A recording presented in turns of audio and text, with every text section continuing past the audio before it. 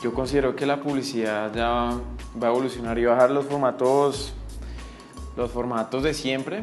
Va a dejar ese tema del 360 sin sentido, lo va a dejar a un lado y vamos a empezar a hacer publicidad de contenido. Pues el concurso me parece que es un concurso interesante y sobre todo enriquecedor, tanto para estudiantes como para egresados.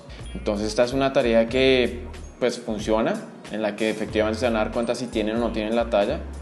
Y me gusta también que pues para los egresados eh, es bueno también hacer un poquito, un poquito de retrospectiva. A todos los, los estudiantes de la Sergio, de la Escuela de Publicidad Internacional, pues espero verlos en la semana de publicidad, demostrando si realmente tienen la talla para esto, porque pasa mucho que uno en las clases se cree todo lo que dice el profesor y saca cinco en todo, pero no sé, me pasó a mí, le pasa a todo el mundo que llega al mundo real y en realidad de esas campañas solo eran un ejercicio bonito en clase.